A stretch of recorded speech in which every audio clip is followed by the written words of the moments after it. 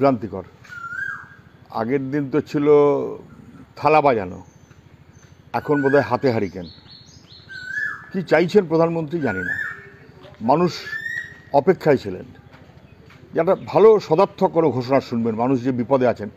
এদেশের মানুষ লকডাউনকে মনে প্রাণে গ্রহণ করেছেন। মনে প্রাণে গ্রহণ করেছেন।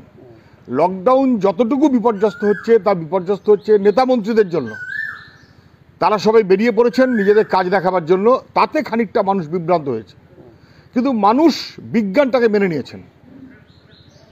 বিজ্ঞান ভিত্তিক লকডাউন সোশ্যাল ডিস্টেন্সিং আসলে ফিজিক্যাল ডিস্টেন্সিং লকডাউনটা মানুষ মেনে নিয়েছেন। কিন্তু লকডাউনের নাম করে আলো অফ করা কেন? লকডাউনে বিজ্ঞান আছে, যুক্তি আছে। আলো অফ করার যুক্তিটা কি? কারণটা কি?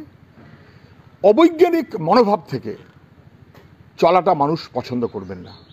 এবং আপনি নিশ্চিত থাকুন, এটা আর একটা ইভেন্ট ইভেন্টের পর ইভেন্ট চলছে।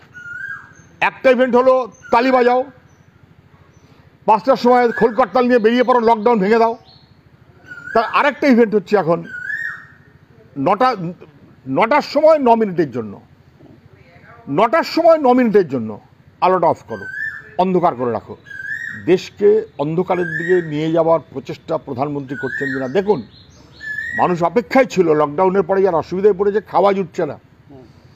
বাইরের রাজ্যে যারা আছেন, পরিযায়ী শ্রমিক, তারা বিপদে। টেস্টের কিট পাওয়া যাচ্ছে না।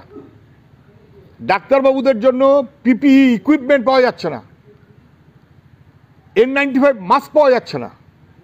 সর্বশক্তি দিয়ে এইগুলোর ব্যবস্থা করা দরকার ছিল যাতে লকডাউনের নামে বিজ্ঞানিক যে মনোভাব সেই মনোভাবটা কার্যকরী করা যায়, সেগুলোকে না করে আমি, আমাকে সময় দিন, তালি বাজান। আমাকে সময় দিন, আলো বন্ধ করুন। এসব গিমিক এসব গিমিক। কষ্টে থাকা মানুষকে নিয়ে রসিকতা করা হচ্ছে। এটা ঠিক হচ্ছে না। বিজ্ঞান মানুষ মানবে লকডাউন মানুষ মানছে। কিন্তু গিমিক অথবা রসিকতা মানুষ মানবে না।